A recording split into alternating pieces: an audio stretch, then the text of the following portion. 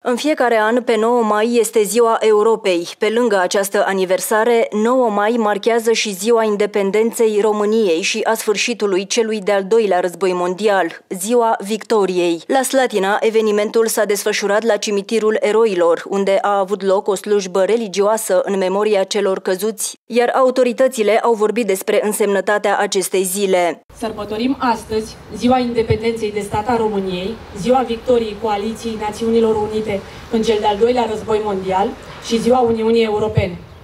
9 mai, zi de sărbătoare cu triplă semnificație istorică și cu o profundă încărcătură simbolică, definește momentul în care România a început cu adevărat să existe, pornind pe un drum nou, anevoios și lung.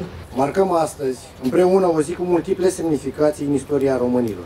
Și dacă vorbim despre istorie, înseamnă că trebuie să privim în urmă, să evocăm, dar mai ales să prețuim faptele eroice ale înaintașilor noștri și să respectăm memoria celor care cu sacrificiu și dăruire au făcut posibil ca noi să trăim într-o națiune independentă și liberă. La monumentul eroilor au fost depuse coroane și gerbe în memoria celor căzuți pe câmpurile de luptă.